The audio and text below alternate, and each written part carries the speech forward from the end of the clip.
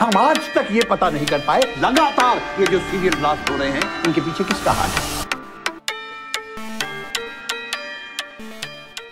मेरा जो किरदार है प्रभात नाम है उसका। अ, फ़िल्म शुरू होती है पटना से। आईबी अफसर प्ले कर रहा हूँ जो पटना में काम करता है। इंटेलिजेंस ब्यूरो आप जैसे जानते हैं बहुत मायने रखती है हिंदुस्तान के सुरक्षा में। So he is an officer who does his job to protect the country जो ये कहानी है, ये असली इंसिडेंट्स पे आधारित है। तो किस तरह ये जो मिशन था, ये जो मैन हंट थी, ये की गई थी? किरदार और कहानी दोनों एक मिश्रण होना ज़रूरी है तो मुझे लगता है जिस तरह सर ने एक सुर पकड़ा है फ़िल्म का, जो बहुत रियलिस्टिक है, बहुत ग्रिटी है प्रभात भी वैसा ही एक बहुत डिटर्मेंट कैरेक्टर है। बहुत होनहार आदमी है जो अपना काम करना चाहता है देश के लिए। साथ में इंटेलिजेंस ब्यूरो का जब आप किरदार निभाओ तो you need to be very aware of how to depict it because responsibility होती है। तो बहुत अच्छा लगा प्ले करके बहुत इंटरेस्टिंग और मेरे लिए मेरे छोटे से करियर में जो शुरुआत है अभी छह सात साल ही हुए मुझे लगता है it's one of my most mature roles if you can call it in terms of carrying something on my shoulders hi hi Rahul ji ji ji ji.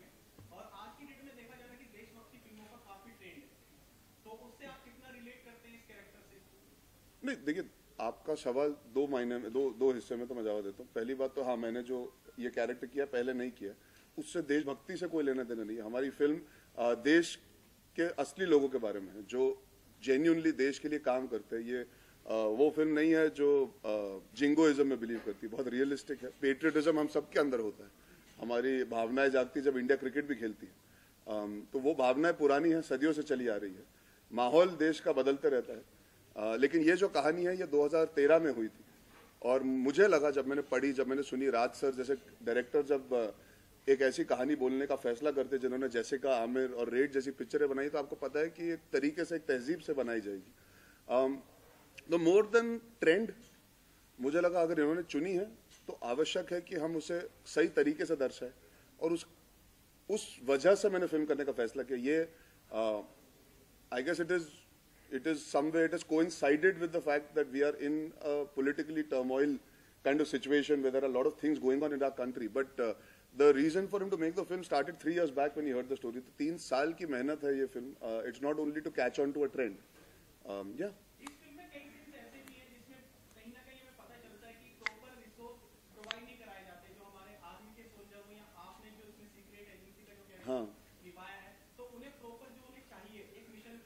I think बहुत हद तक होता है। कई बार क्या होता है कि कुछ ब्यूरोक्रेटिक uh, ऑब्स्टिकल्स आते हैं। uh, कहीं कई बार होता है कि you have to be aware time नहीं होता to wait to get permission clearances etcetera so lot of I am sure a lot of missions are handled on on instinct impulse you have to provide sometimes for yourself I am sure जब journalist होते हैं उनको कहानी मिलती you can not always wait for your editor to give you consent to go ahead sometimes you have to follow an impulse and you cover up for things later Um, so it is not about pointing fingers. This is the truth of the matter and how these, because he's done his research, this is just, देश के लिए कुछ करने के लिए कभी कभी आपको किसी का इंतजार करने की जरूरत नहीं होती you can take that decision impulsively so this is one such instant which there was a big pay off to go with your emotion and instinct I feel I also uh, played this side from the news. Uh, I Arjun this side from Arjun you, had, you had a great start uh, to your career with Isham Chandra. Ji. Yeah. in the movie. Yeah. So how you see this movie uh, as a star uh, for Arjun Kapoor matters and the uh, commercial aspect of it? I think, see, firstly, I'm very grateful. सात साल में बहुत प्यार मिला. The ups and downs, everybody has. We all have them on a day-to-day basis also. Everybody's life is a roller coaster. Um, if seven years back somebody, if I came to Delhi for an interview during Ishaq Zade and somebody said, सात साल बाद you'll be working uh, with fantastic directors, fantastic actors, telling fantastic stories, um, awards, rewards, uh, having financial security, uh, ads, traveling the world, I would have been very grateful and thankful to have that. So I think first you have to learn to be grateful जो आपके पास है. Um, you have to be happy about the fact that in the population of billions, you've been chosen by la- by people to entertain them. It is a blessed job. मैं बहुत fortunate हूँ. Uh, आपका experience इस college में हाँ, I'm very fortunate, and then you get to work with good directors. See, I think for me, uh, I look at my journey as an amalgamation of all the minds that have chosen to utilize me. तो जब राज sir ऐसे किरदार के लिए चुनते हैं तो लगता है कि वो छह साल सात साल की मेहनत रंग लाई.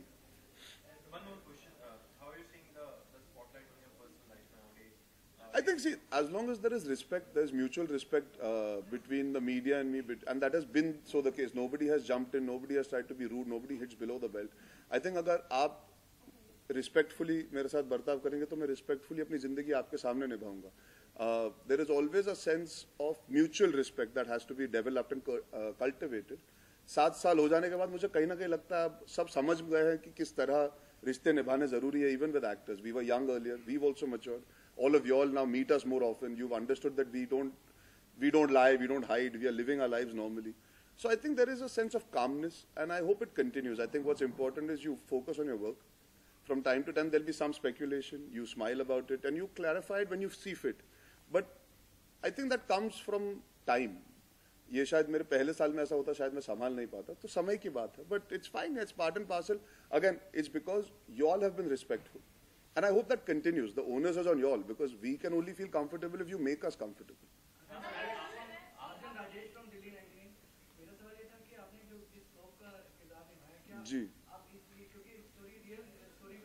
जी जी जी। दिल्ली नहीं, वो राज सर से पूछिए। हीरोइन क्यों नहीं मिली? हीरोइन की बात करें तो बिकॉज़ असली कहानी है।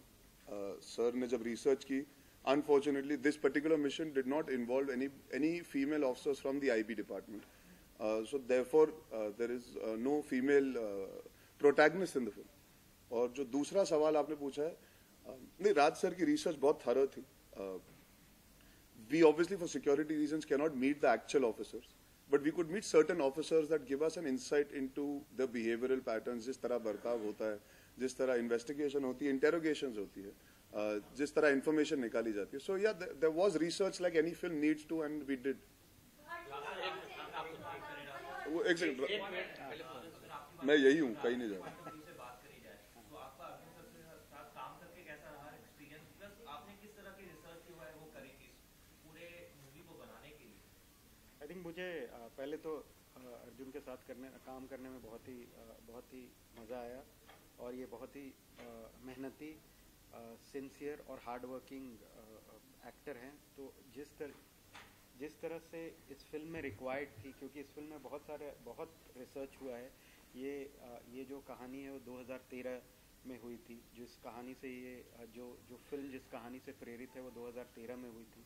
तो ये काफ़ी काफ़ी रिसर्च हुआ उसमें फिर ये फ़िल्म लिखी गई।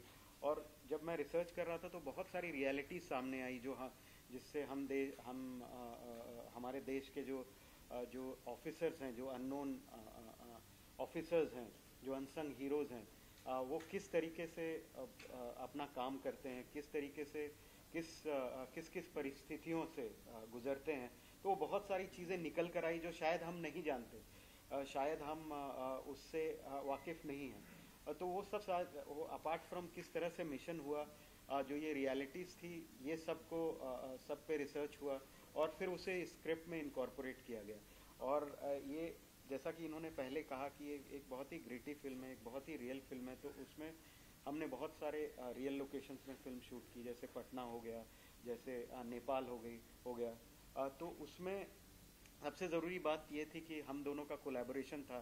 मैं जहाँ भी शूट करना चाहता था ये he was up for it so बहुत ही मज़ा आया आया काम करने में और ये फ़िल्म जो जिस तरीके का शेप लिया है फ़िल्म ने वो अगर अर्जुन नहीं होते और उन्होंने अपना वो सिंसियर हार्डवर्किंग और पैशनेट नहीं होते स्क्रिप्ट को लेके तो उस तरीके से फ़िल्म नहीं बन पाती जिस तरीके से अभी फ़िल्म बन पाती है। फ़िल्म नेपाल में भी शूट हुई है क्या ये यासीन भटकल के ऊपर बेस्ड फ़िल्म है या किसी और के ऊपर आप जानते हैं यासीन भटकल को अपने देश में लाया गया था तो तो पकड़ के लाए गए थे चार या पाँच लोग थे तो थर्टीन की बात है थर्टीन आइए आप सिनेमा घर में। सिनेमा घर में।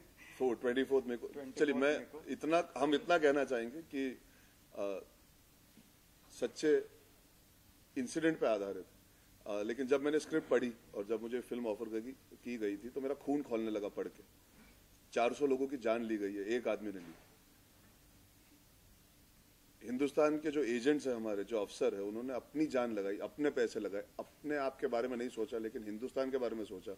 और एक ऐसे आदमी को वापस पकड़ के लाए, जो आज भी ज़िंदा है और हमारे, यानी कि टैक्स पेयर के मनी से बैठ के बिरयानी खाता है and he still wants a pardon he still says he is not guilty So I feel responsible as an entertainer that I also get a chance to be able to put a reminder into our lives. हम क्या कई बार अपनी निजी ज़िंदगी में इतना खो जाते हैं। We don't take a moment to salute those heroes जो रोज जागते हैं, जो रोज बाहर रहते हैं, जो रोज अपने फैमिली से हटके रहते हैं और देश के लिए बड़ी बड़ी चीज़ें करते हैं without wanting credit so I think without giving glorification to the person they have caught this film is about those heroes that never get glory और वो मांगते भी नहीं है, वो कभी आते भी नहीं है सामने, वो नहीं चाहते क्रेडिट आज के जमाने में युवा पीढ़ी को आप देखिए तो हम सेल्फी ले लो तो हम इंस्टाग्राम पे चिपकाने के लिए बेचैन हो जाते कि हमें क्रेडिट चाहिए, हमने कुछ अच्छा किया तो हम इमीजिएटली बोलना चाहते हैं। लेकिन यहाँ पे हम इन लोगों की बात कर रहे हैं जो देश के लिए जान न्यौछावर करने को तैयार है। अपने खानदान से नहीं मिलेंगे, दस दस दिन, बीस बीस दिन एक जोड़ी कपड़े में रहते हैं इन्फॉर्मेशन निकालने के लिए। इंडिया को सेफ़ रखने के लिए। तो I think this film and I am sure you guys will also appreciate it this is a common man story and I think we should glorify that we should glorify the unsung heroes और जिस आदमी को पकड़ा ही deserve it लेकिन I think right now we need to focus on the people that deserve credit where it's due जी। जो जो actor है या जो असल, जो I think if Raj sir speaks about them because he cast them to have the courage to take new faces जहां पे वो शायद नामचीन लोग भी ले सकते थे I think we to give him credit he is giving new people an opportunity to shine I was very happy to have them along with me because I think film को एक नया कलर मिला है because there are new faces around so you should ask him what he has to say about them I think I think I think ये uh, बहुत ज़रूरी था uh, इस फिल्म के लिए कि ऐसे एक्टर्स कास्ट किए जाएं जो uh, जो रियल लाइफ में काफ़ी फ्रेश लगें, काफ़ी रिजेंबल करें उन लोगों को जो, जिन्होंने ये ये मिशन किया है। तो ऐसे जो जो चार लोग अर्जुन के साथ आप देखेंगे, वो बहुत ही ब्लेंड करते थे भीड़ में। और ऐसे एक्टर्स को लेने की कोशिश की गई है, जो जो उन पर्सनालिटीज़ को और जो रिसर्च में निकल के आई और उन इंडिविजुअल्स को जो हम देखते हैं, वो मैच करें और और बहुत ज़्यादा स्टैंड आउट नहीं करें। अ, क्योंकि वो बहुत इंपॉर्टेंट होता है जब आप अ, इस फ़ील्ड में होते हैं कि आप स्टैंड आउट नहीं Yeah. करें आप ब्लेंड करें अ, आप लोगों को लोगों से नज़रें ना मिलाएँ जितना आप डिस्क्रीट हो सकते हैं उतना डिस्क्रीट हो। तो ये सब सारी चीज़ें बहुत इंपॉर्टेंट थी इसलिए इन लोगों की कास्टिंग इस तरीके से की है इनकी screen testing screen testing audition हुए जी, जी, और और करीब मतलब एक एक कैरेक्टर के के दस दस, बीस बीस ऑप्शन निकाले गए और उसमें से जो बेस्ट हुआ, जो सबसे नियरेस्ट था था टू द कैरेक्टर उनको लिया गया। है। मतलब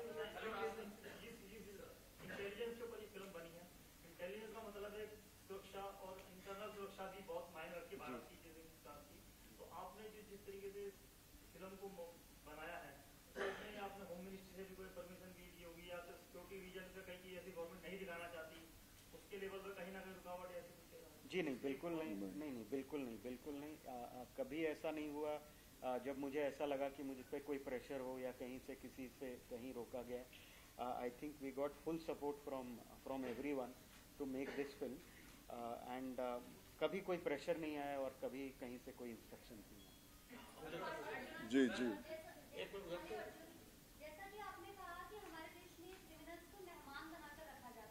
जैसा थिंक वो थोड़ा मैंने ये नहीं कहा, ये आप कह रही मैंने मौज नहीं कहा। हाँ नहीं तो नहीं that is your responsibility I didn't say that please state what I say जी, बिल्कुल, हम सब चाहते हैं, हम सब मानते हैं ये हाल ही में ही हम बात कर रहे थे, कल की ये बात है कि there must be process there must be protocol followed but there has to be speed you have to speed up the process definitely you can not take years it has to be done keeping everything in they get constituency we are a democracy.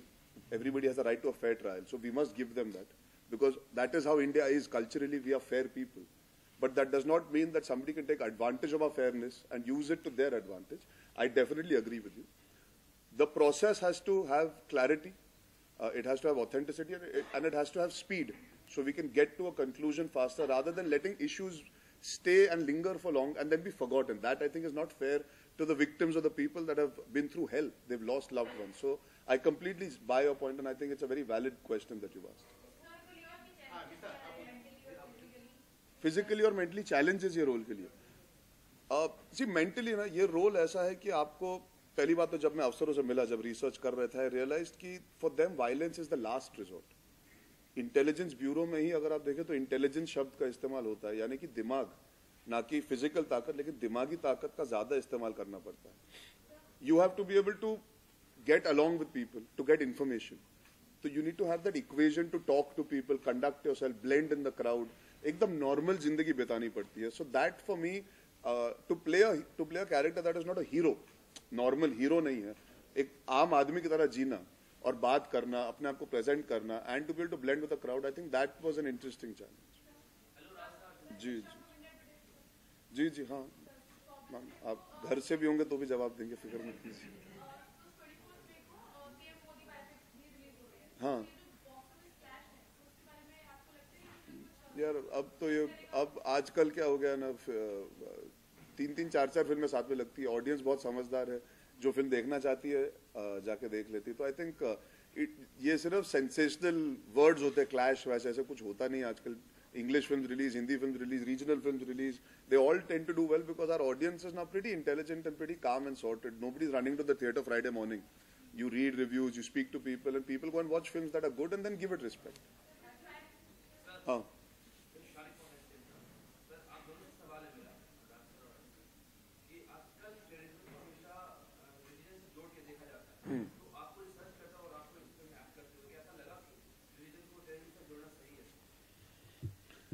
देखिए एक act of violence जो है वो वो कहीं से किसी किसी रिलीजन से आए वो एक एक वायलेंट एक्ट है और उसको हम हमेशा उसी उसी दायरे में रहकर देखते हैं।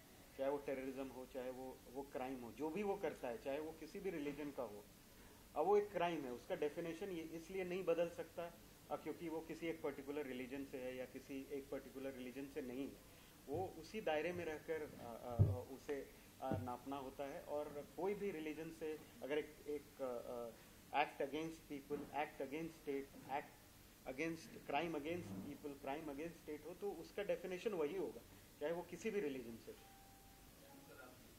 देखिए the the the genuine fact of the matter is आप हिंदुस्तान छोड़िए, आप दुनिया भर में देखिए, इस वक्त श्रीलंका में जो हुआ न्यूजीलैंड में जो हुआ टेररिज्म नोज़ नो रिलीजन जब लोग बुरा करते हैं ना they try to radicalise and rationalise by using religion to justify their action there is no religion in this world that will ever support violence and taking innocent live so that is absolute bullshit at the end of the day terrorism is terrorism they use religion to instigate violence, to instigate people to be radicalized. And that in itself is an insight into understanding how these men and women operate when they try and radicalize you by using religion. तो उनकी सोच कितनी छोटी है, ये सोचिए। हम एक सेक्युलर नेशन है। We want to live together इस कमरे में मायने नहीं रखता मेरे लिए कि आपके सरनेम क्या है। लेकिन लोगों को मज़ा आता है ये सब चीज़ें इस्तेमाल करके to separate us but we have to let positivity emerge at times like this and always remember that we been taught to be one together as a country so why should we let any anybody divide us over religion caste creed